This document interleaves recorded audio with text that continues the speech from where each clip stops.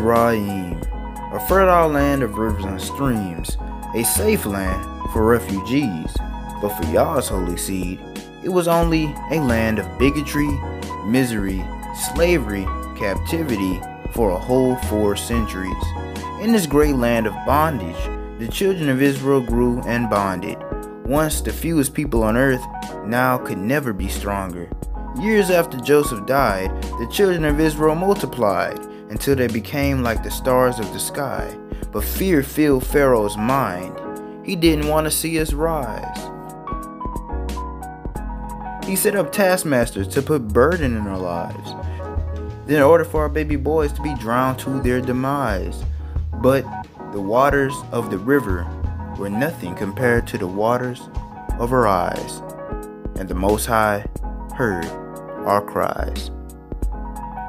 But one determined Levite mother would do anything to spare the life of her son.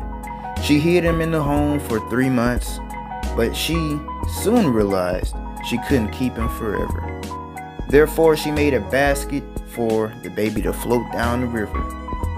As he went down the stream, the daughter of Pharaoh found him and recognized him as a Hebrew. She named him Moses or Moshe, which means to pull out or to draw out of the waters. Moshe is an Egyptian name which shares a similar etymology with the Anishinaabe word Missy or Mizi, meaning river or waters. Hence the namesake of the Mississippi River. It means great river in the Anishinaabe language. As Moses grew older, he lived in the house of Pharaoh but perhaps during his teen years, he came to a full understanding of who he truly was.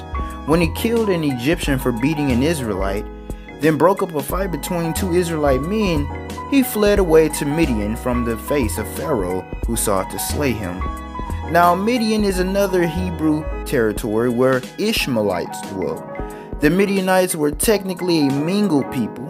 They mostly comprised Midianites, but also had traces of the Hivelites, Ishmaelites, and Zimrinites, the Joshbagites, the Midianites, the Ishbagites, and the Shuites. These people were also known as the Arabians of the desert in latter scriptures. This makes sense because Arab means mixed, and Midian is in a desert location. Now, according to scriptures such as Exodus 3 and 1, we see that Midian borders Horeb, which is the Mojave Desert. Scripture never makes obvious the exact location of Midian, but we know that it is a desert region bordering Horeb. The best spot for this land would be the desert region west of the Mojave Desert and north of present day Los Angeles. When Moses arrived to Midian, he helped some Midianite sisters by a well water their flock. Moses would then go on to marry Zipporah, a Midianite Hebrew, who would later be called an Ethiopian in Numbers chapter 3. Now, why would a Midianite be called an Ethiopian? This has been a topic for much debate for years, but the only way one can understand this is by completely disregarding the Middle Eastern biblical map model and focus on the American model. If Midian is truly in Southern California, that would mean it also was located near the country of Havilah, the land of onyx, bdellium, and gold.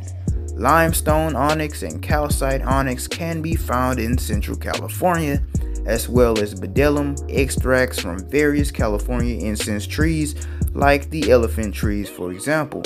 And we all know that Central California is known for its gold. Havilah means whirling circle in Hebrew. It is a fact that before recent damming, Cali had a circular lake in the center which possibly moved in a swirling motion. Now, Zipporah, the wife of Moses, was called an Ethiopian simply because she was from the Havilah area, and Havilah is a Cushite nation. She wasn't an Ethiopian by blood, but by citizenship. Now, like I've stated before, Ishmaelites dwelt in Midian. Therefore, technically, scripture does tell you where Midian is. In Genesis 25 and 18, it states that the Ishmaelites dwelt between Havilah and Shur, with the land of Shur being in the Baja California Peninsula and Havilah being Central California, we could then again conclude that Midian is the desert region of South California, between Central California and the Baja California Peninsula. This is the same place mentioned before.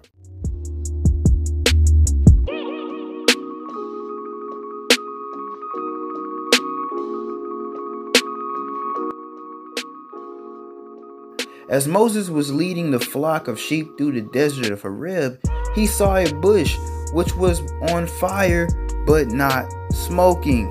Moses immediately recognized this as a sign from a higher power. At this point, Moses was chosen to be a deliverer to the children of Israel from the hands of Pharaoh. And Aaron, his brother, will become in charge of speaking to the elders of Israel. The Most High hardened Pharaoh's heart before Moses told him that the Most High commanded for the children of Israel to be set free. The Most High then gruesomely plagued Mizraim every time Pharaoh refused to hearken. The first plague was turning all the streams of the Egyptian river into blood. Could it be possible that this blood was not actual blood? but it was simply infested with a protozoic algae known as red tide. Red tide is a common occurrence in the Gulf of Mexico, the Gulf of California, and the Colorado River. All of this is the true Red Sea, and the Colorado River is the true original river of Egypt. In fact, the Colorado River is commonly known as the American Nile. Scripture says this bloody water killed all the fish and had an unbearable odor. The smell of actual blood does not smell anywhere near as bad as red tide does. Its odor is so bad that its odor will bring you to coughing and even vomiting. Not only that, but once red tide blooms in any body of water, all the fish in the affected area will die simultaneously. Red tide does not at all occur in the African Nile River and water turning into actual blood would seemingly be a highly renowned event that would have been documented in hieroglyphics. However, it was not. Then frogs, then gnats, then flies, then the cattle died. Then the Egyptians got boiled in their flesh. Then there was fiery hail that fell from the sky, destroying all the high buildings and all the treasure cities of Mizraim then Yah sent a strong wind from the east, which brought a black cloud of locusts, which was hundreds of miles long and hundreds of miles wide. These locusts then ate up every green thing in Egypt and completely disrupted all the agriculture in the area. This would make perfect sense in America because the original Mizraim was constructed upon the Colorado River Basin in present day Arizona. The now extinct Rocky Mountain locust lived north and east of that area. An east wind would take the locusts from present day Texas, Oklahoma, and New Mexico and bring them into Arizona. The Rocky Mountain locusts are actually responsible for the locust plague of 1875. The Rocky Mountain locusts swarmed the west for months at a time. These insects blacken the sky and land on a field or forest and take off within a few hours, reducing any lush area into a complete desert. They then mysteriously went extinct by the early 1900s. No species of locust on Earth could wreak as much havoc as the Rocky Mountain locust. The ninth plague was a thick darkness which could be felt. What is it about this darkness that was terribly different? Why was it called thick and how could it be felt? We know that actual darkness cannot be felt. So, what was this darkness? Scripture does not specify, but many will argue that this darkness was indeed a dust storm, which was caused by the recent desertification that the locusts created. This beautiful land of Mizraim of lush plants was reduced to the Arizona landscape that we know today. The final and worst plague is when the firstborn of all living things in Mizraim were cut off, from the creeping thing of the ground to the beast of the field and even the fowl of the air and the firstborn of Pharaoh who sat upon the throne. All of these plagues happened only to the Egyptians and not the Israelites. The cast was immediately reversed with this plague. Furthermore, the land of Mizraim became the land of misery for the Egyptians and exuberance for the Israelites. Because before this plague, the Israelites spoiled the Egyptians by taking all of their gold, jewels, and earrings, chains, etc., and the Egyptians had nothing. Israel left Goshen, which is the area near the mouth of the Colorado River Basin, and fled three days' journey into the wilderness the first major place Israel went was Pharaoh, between Migdol and the sea. This part of the Exodus would have taken place in Sonora, Mexico. Allow me to explain.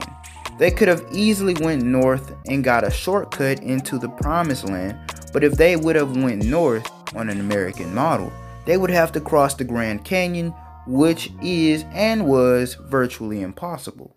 Therefore, south was the best option. Fijero means place where sage grows. In Sonora, Mexico, there are more than 100 species of the sage plant.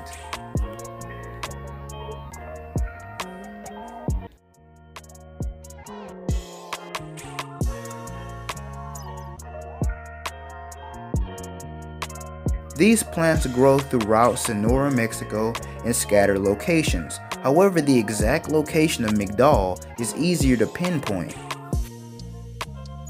Migdol means tower in Hebrew, about 10 miles southeast of a city called Magdalena in Sonora, Mexico.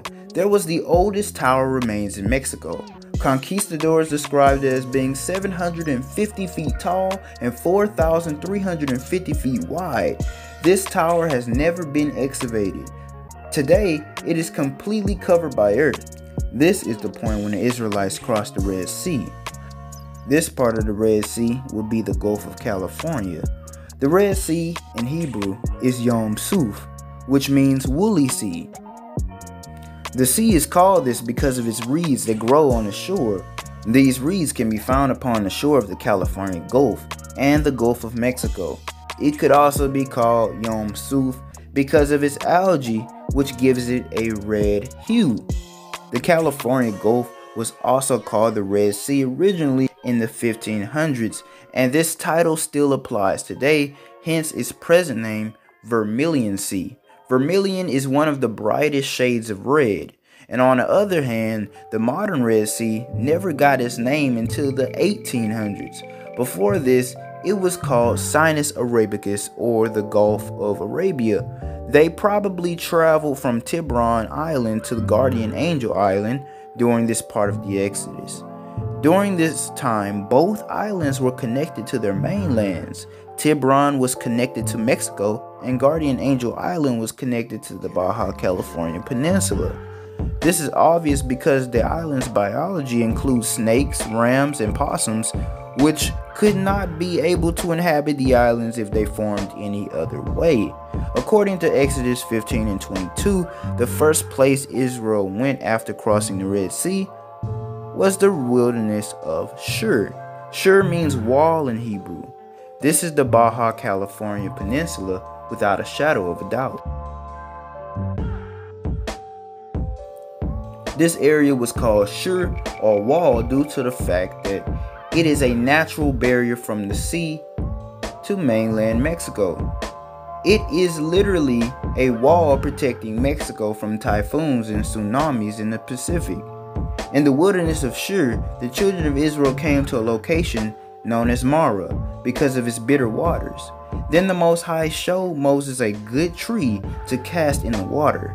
This water would later be turned sweet by the tree, Whatever tree this was had to have properties that could take toxins away from the water. This tree would have to be a mangrove tree because it is known to filter toxins out of water. The North American mangrove tree grows on the Baja California peninsula. The bitter waters of Marah could have been any simple river of Baja California, or even the Salton Sea, which has both fresh and salty properties. It could even have been the now dry Laguna Salada. Now, the next area the children of Israel dwelt is a very interesting land because it fits a description closely resembling that of a Western American environment. This is the land of Elim. This area is described as having springs of water and palm trees. If the children of Israel were to leave the Baja California Peninsula going north, they would have to pass through the modern city of Palm Springs, California. This land fits the same physical description as the Hebraic land of Elim. Then, after the children of Israel left Elim, scripture says they were back on the shore of the Red Sea. This Red Sea shore had to be the bank of the Colorado River in an American model. This word sea in Hebrew is yam, which is also used for rivers and streams. Thereafter, we passed the wilderness of Sin. Sin means thorns and clay in Hebrew. This area fits the Mojave Desert more than any area in the Middle East. The Mojave Desert is a world of red clay and the earth's sharpest cacti thorn. With the understanding of Sinai being the Mojave Desert, finding the location of Mount Sinai is actually so easy you cannot miss it. Scripture tells us during the days when Israel was in Sinai, the mountain often erupted with smoke and fire, causing the earth around it to violently shake. It is pretty much self explanatory that Mount Sinai is a very dangerous volcano which can only be touched and climbed by someone who is as spiritually equipped and protected as Moses was. This mountain today would be Black Mountain Wilderness, California, which is a dormant yet highly powerful volcano. In Exodus 24 and 4, we see that Moses built an altar of stone under the mount. There in Black Mountain Wilderness, there happens to be an altar of unhewn stone under the mountain, built just like an ancient Hebrew altar. According to Exodus 17, we see that there was little water in Sinai, and the children of Israel were thirsty. Therefore, Moses was given the occasional task of speaking to a rock, which would provide water to an entire nation. This rock was not a stone or boulder, but an actual rock, a small mountain, large enough to give millions of gallons of water to millions of people in the wilderness. This rock gave way to streams which cut through the large crowd of the Israelites. Going without saying, this rock sat upon an underground aquifer. The Mojave Desert happens to have a lot of hot springs and groundwater. The modern Sinai Desert does not have this groundwater. However, satellite view image of the Mojave Desert directly south of Black Mountain Wilderness shows a 5 mile crack in a mountain that clearly portrays the details of dried streams of water that once flowed in all directions. The rock had to pump out enough water to quickly quench the thirst of 2 million people. And that small rock in the Middle East that biblical archaeologists say is the rock of Horeb is nothing more than a weathered rock upon a hill in the desert of Saudi Arabia it definitely would not be able to get the job done.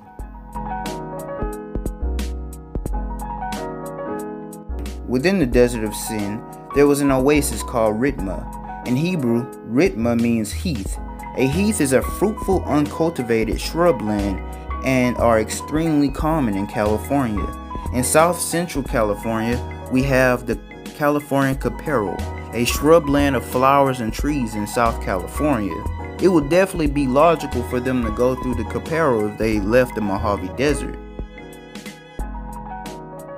The next place Israel passed through was Rimmon Perez, which means breach of pomegranates. Although modern historians will have you believe all pomegranates originate in the Mediterranean region and were introduced into America by Spaniards. Old Spanish maps call Utah, Nevada, New Mexico, Arizona, and California Granada Nova, meaning new or unknown pomegranates in Latin.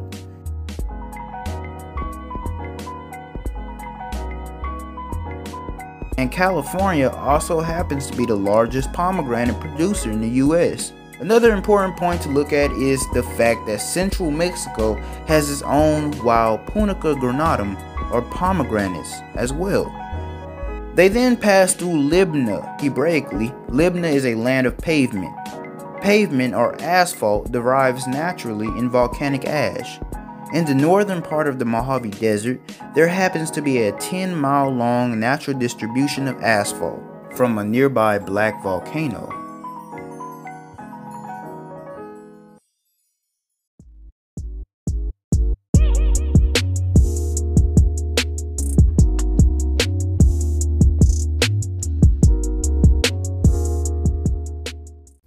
After they left Sinai, they dwelt in the wilderness of Paran.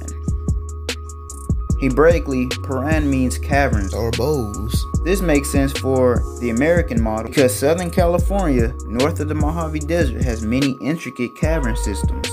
Within Paran, the children of Israel lusted for meat as they remembered Egypt. These ungrateful Israelites who were provided with manna from heaven were then satisfied with the quail that Yah then gave them. Quail just so happens to be an indigenous American animal, especially found in the western side of America. Thus, another perfectly fitting puzzle piece. All the children of Israel who were ungrateful of Yah's heavenly blessing died right then and there in Paran. Yah had killed them for their ungratefulness while the quail's flesh was still between their teeth. Thousands of them died there. This land was called Kabrat Hata Ava, meaning graves of them that lusted. Till this day, archaeologists have found absolutely no trace of evidence concerning the, a Hebraic exodus in modern Sinai. Not even one bone was found in the small desert. This area is no bigger than the southern tip of Texas. Its landscape is also very harsh and abrasive. With mountains so close together, it would be impossible for 2.8 million people to simply pass through. 2 million people is a crowd so large it could be seen from space. It was a population in the wilderness like that of Houston, Texas. No ancient skeleton was found in that region. But on the other hand, in Southern California, archaeologists who weren't even trying to find anything beg to differ. Many ancient skeletons were found in Southern California of unknown origins. Let us take a look at the modern Sinai Desert and let's pretend 2.8 million Israelites did pass through modern Sinai Peninsula during one period of time. Most scholars would say that they went through the southern part of Sinai, the drier, more mountainous part. But people don't realize exactly how mountainous the region truly is.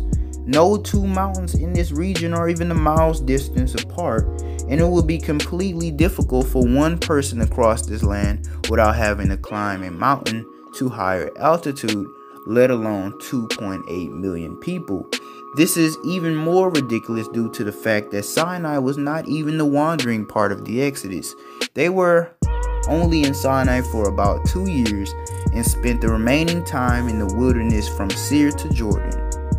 That amount of people would make a gathering nearly the size of some of the small islands in the Gulf of Mexico. The mountainous region of the peninsula could not realistically support this amount of people. On the other hand, the northern side of the Sinai Peninsula was covered in muddy rivers which flow from the mountainous region. This is a land of quicksand that is very difficult to pass.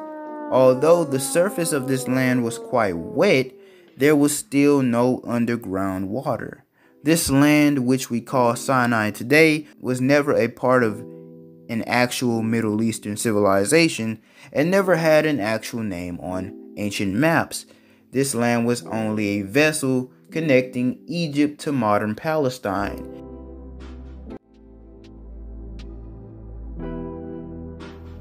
After this, they passed through Rissah, which means moist in Hebrew. This makes sense because directly north of the volcanic asphalt, there is a small accumulation of streams that flow from the mountains east and west. The valley between the mountains is Rissah. From there, they passed the mountains of Shafar, which in Hebrew means beauty. This mountain is any of the mountains east of the valley of Rissah. Perhaps the mountain was Pinto Peak or Telescope Peak, which both look very different from the mountains on the dry, arid surrounding area. Pinto Peak is lush and green, while Telescope Peak is tall and snow capped. Now, if they kept going east, they would also have to pass Death Valley, which is the single hottest area on the planet. There is absolutely no vegetation in the area, the elevation is one of the lowest on Earth, and the sand itself heats up so much it is unbearable to travel on barefoot or with thin shoes. Not only that, but during the night, it is the exact opposite, but equally as dreadful. Temperatures can drop as low as 18 degrees. Unprotected hands and feet will get so cold that you will wish it was daytime.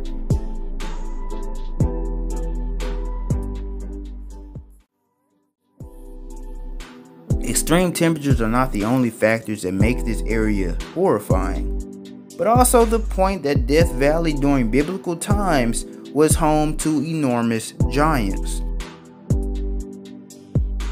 If you were one of the Israelites that had to pass through this area, you would most definitely fear for your life.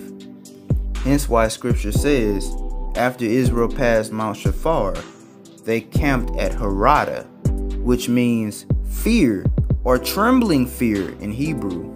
Some Hebrew linguists, however, associate the term Haradah with the literal quaking of the earth, which still would make perfect sense because Death Valley sits directly above a tectonic fault which regularly experiences powerful quakes.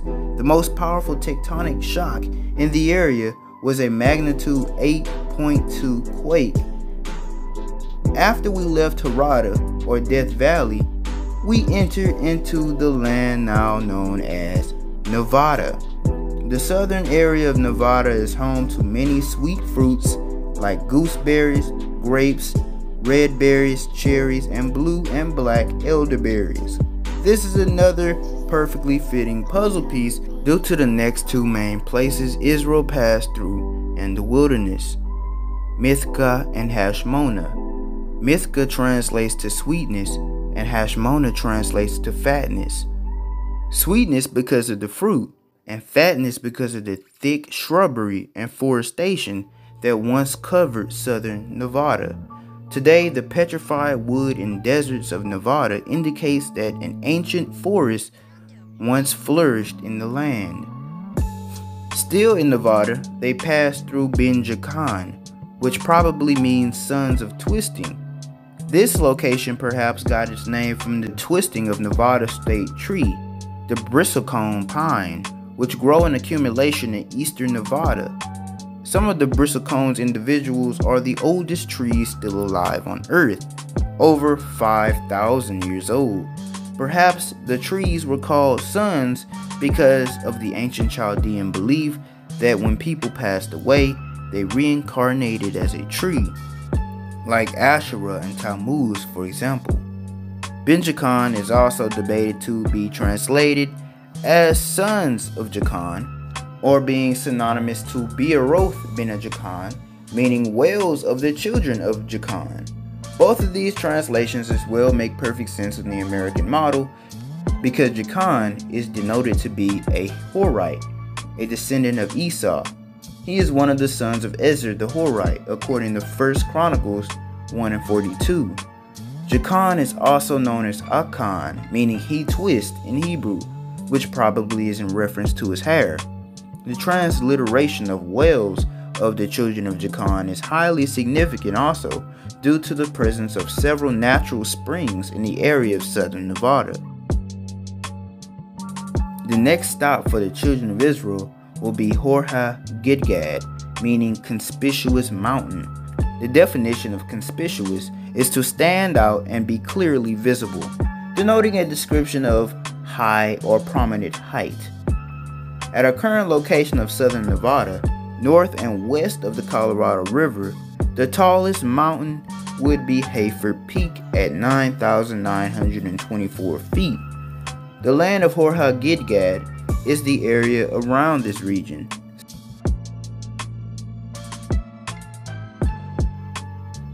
Still in the wilderness, Israel embarked in a territory which they called Jothbatha, originally spelled Yatawabata, meaning goodness or pleasantness. This land was good with comparably fertile soil. Southern Nevada is actually pretty arid and dry in present times, but this land actually has several hundred dried streams and lakes, which shows that this land was at one point was very moist and arable. Now about 18 miles northeast of that region, we stumble past one of the main cities of Edom, Ezion Gabar. In Hebrew, this name means backbone of a man, denoting the city had a spinal shaped ridge near it. We also know that it is a port for naval navigation through the Red Sea, and in latter days, Solomon built a fleet of ships in Ezion Gabar to trade with Tarshish. Now, how can a dry desert location in southeast Nevada be a port for ships? Well, we must understand the ancient concept of a sea. When we think of seas today, we think of large bodies of salt water, the ocean basically. However, with an ancient perspective, we see that a sea or yam is in reference to any large flowing body of water, meaning the oceans, the rivers, and the lakes. Now, since rivers connect to oceans, this in a Hebraic sense would make the river a part of the ocean. Rivers too are Yam. This would mean the Colorado River is a part of the Red Sea because the Gulf of California is its mouth. The Colorado River, before damming and evaporation, was enormous, completely navigable, and was large enough to support multiple fleets of ships at a time. There are numerous legends and rumors about ancient ships sailing the Colorado River into the Gulf of California and back. Conquistador Francisco Coronado claimed that Indians told him of ships and sailors that used to navigate the river. Archaeologists have even found pictographs of ships with sails on rocks near the Colorado River, as well as a shield which indicates a warlike people in the area. Some people speculate that these ships and shields are of Viking or Phoenician origin. However, with this train of thought, the ships could also be considered to be Hebrew in origin because the Hebrews traded with the people of Tarshish, Spain, who at the time were Celts, a Viking like people, and Phoenician seafarers. Scripture says that every three years Israel traded with Tarshish. The Middle Eastern location of Ezion Gabar is completely illogical due to its position on the Sinai Peninsula. The sole purpose of the port was to connect trade routes between Canaan and Europe. In the Middle Eastern model, the fake Ezion Gabar is located near Eilat on the eastern side of the Sinai Peninsula. In order for ships to go there to Tarshish, aka Spain, they would have to sail south into the Gulf of Aqaba into the fake Red Sea, into the Indian Ocean, into the Draco Passage under South Africa, then go north past West Africa until passing Morocco into Spain. So basically, they would have to go completely around Africa. But the thing is, why would they do that when Solomon could have just built the port in Israel near Gaza? From there, they could just go straight through the Mediterranean and get a straight shot into Europe thus reducing money, time, and energy. An American model, what Solomon ships would have to do is sail through the Colorado River into the Gulf of California, into the Pacific, past Central and South America, into the Draco Passage, south of Belize and Argentina, then use the Atlantic Ocean's currents as a slingshot into Spain. Sure, that's about the same distance of going around Africa, but still is a lot more logical because Solomon could have picked a better location for his navy in the Middle East. However, in the American model, that would be the best position. This journey in the American model and back would take about six to seven months, a perfect span of time. The modern fake city of Eziongabar was identified by a German explorer, not certified or historian or archaeologist, but explorer, F. Frank. He claimed that this place was Eziongabar because of some ruins there that was identified as Solomon's Port with no proof. The real ancient city of Eziongabar is on the Colorado River near the spinal shaped ridge called Weiser Ridge. This ridge actually looks like a human spine, hence why Eziongabar means backbone of man in Hebrew. From above and from the ground, it looks like a human spine. Only one mile north of the ridge, near a small stream of the Colorado River, there happens to be a 100 foot structure which seemingly appears to be a man made object. Due to its flat aerodynamic shape, it could very well be a petrified wooden ship upon a nicely sculpted dock. This object is not at all mainstreamed in fact, the only known photo of the object is on my computer screenshot. It is not a fact that this is an ancient ship wreckage, but all the dimensions fit perfectly to that of a ship. Flat body, narrow at the front, wide at the back, and what appears to be a hollow interior filled with sand from the many dust storms in the area. From examining the shadow of the object upon the rocks, we see that the object is not connected to the rocks beneath it and is perhaps rounded at the bottom. Just like any successful ship, it has a diameter that can be divided equally and a radius that lines up perfectly with its nose. In other words, it is almost perfectly symmetrical, unlike any natural occurring object. These Israelites would then journey from Eziongabar to the mountains of the Ammonites the mountainous region of Kadesh Barnea. We have now entered into southern Utah. These mountains would range from Mormon Peak to Zion National Park. While in the desert of Zin, the children of Israel thirsted once again. The Most High commanded Moses to speak to a rock for water to come out. However, instead of speaking to the rock, he struck it twice with his staff which costed Moses his leadership. Moses then sent messengers to the king of Edom to allow passage through their cities. The king refused, yet the children of Israel still made their way to Mount Hor in the border of Edom on one of the red mountains of the border of Edom. There Aaron was buried and Israel mourned for him 30 days. Israel never went directly through Edom, but they went around it by the way of the Red Sea, which is a stream of the Colorado River in this case. On their way, a Canaanite tribe under King Arad attacked them and took many of them captive. Then Israel utterly destroyed those Canaanites and their cities. Although the Most High gave them the power to utterly destroy these people, Israel was so rebellious once again and complained again to the Most High and the Most High sent poisonous snakes against them, which killed many of them. This species of snake was definitely the Great Basin rattlesnake, which is an extremely venomous viper whose bite would cause internal bleeding. While still compassing the red mountains of the land of Seir, in modern terms would be Red Cliffs National Park, they encompassed the land of Seir many days. They were then commanded to turn north along the Red Sea, which again in this case was a stream of the Colorado River. This is when they began to wander. In the mountainous land of eastern Utah, they wandered for about 38 years before they made it past the Jordan River. The first place they wandered to was Zalmona, In Hebrew, Zalmona means shady or gloomy. This is because the land northeast of the red land of Seir is a land of ash like dark gray soil.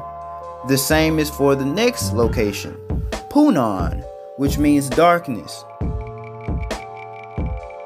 The first land, Zalmona, was the area around Black Knoll, a black hill north of Seir, and north of Punon is the land of Black Mountain, a black mountain peak. As the children of Israel continued north, they made war with more and more Ammonite tribes who came against them, slew them by the edge of the sword, and leaving their cities in heaps and ruins. The next two cities they passed through, they made war with the people and left their cities heaps and rubble, both Em and Ijah Abrim. Then Moses gave Gad, Reuben, and Manasseh the lands of the Amorites and Bashan. Then, still continuing north, they wasted Dibon, and the children of Gad rebuilt it and called it Dibon Gad. From Dibon Gad, the children of Israel migrated to the mountains of Abarim, which is most definitely the Salt Creek mountain range. These mountains were south of Mount Nebo, so Mount Nebo is in its correct location, even on the Mormon's American model. From there, they migrated to a plain near the land of Moab. This plain would definitely be the three modern utopian cities of Levan, Nephi, and Mona. This plain is a relief because it is among the most fertile areas in this part of Utah, and the ancient city of Jericho was somewhere around this region. The children of Israel could not pass through the land of Moab because the king of Moab would not allow them through, so they walked on the outskirts of the land. They then crossed the Zered River, which is the now dammed Deer Creek and after that they had to cross the Arnon River, which is also the now dammed river that flows into Ogden Bay, once a part of the Salt Sea.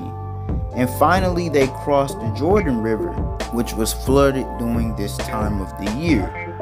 And Bear River, the river which they would cross, is known for its flooding in spring and fall. The Bear River is the Jordan. The entire congregation of Israel stood near the banks of the Jordan River, including the priest who carried the Ark of the Covenant. Since the river was flooded, the Most High split the river for passage, just as he did the Red Sea. Then they grabbed 12 stones from the riverbed as a memorial. The children of Israel then entered into the land which Yah had given them. They followed Joshua, for he was the new leader of the house of Israel. The older generation of the Israelites who came out of Egypt had all died in the wilderness, including Moses, who died near Moab. Before Moses died, however, he gave all the laws Yah had gave him to write to Joshua. Then Joshua gave them to the priest, and then told Joshua to lead the people. Yah led Moses from the plain of Moab to the peak of Mount Nebo in Pisgah. From 12,000 feet above the plain of Moab, Moses could see all the promised land. However, he could not die there, for he died in the land of Moab. He died at a good age, 101 years old, and he was buried by Yah himself in a location that no man knows. Now the children of Israel entered into their promised land and were circumcised again. But the final obstacle for these people was conquering the Canaanites and dividing their land into portions for each of the 12 tribes of Israel.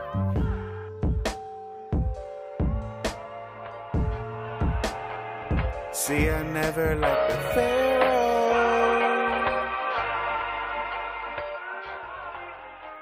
I never ever liked the Pharaoh. Now there arose up a new king up over Egypt. He knew not the fame of Joseph, and all he did they exceeded. Through vision, interpretation, they grew and they gained fame. Yet still, in all their counsel, they chose to put us in chains. So Pharaoh, oh yes, he did, set over us taskmasters to afflict us with their burdens and rigorous, cruel ways. Despite of them throwing shade, we grew exceedingly great. The commandment from the king was every male child should be slain. All the midwives went they way and did not that which was decreed. Uh-huh. All praises go to you, God, for the fear they had for thee. And Pharaoh's men, they inquired like women, what have you done? They said, We women be Hebrews, y'all commanding the wrong ones. We worship the one true God. Egyptians worship the sun. Notwithstanding through our bondage of mediators to come. So when patience possess your soul, I know you seriously grieve. Be grateful at where you are and let this strengthen your belief.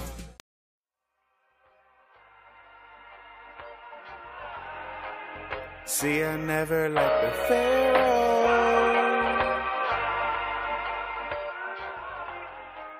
I never ever liked the Pharaoh.